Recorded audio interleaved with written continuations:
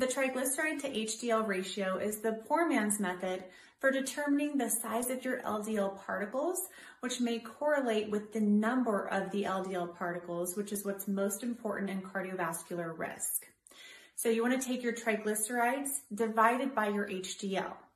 Now, if this number is less than two, a two to one ratio of triglycerides to HDL, you're trending towards pattern A or larger LDL particles. That's going to be healthier than the pattern B.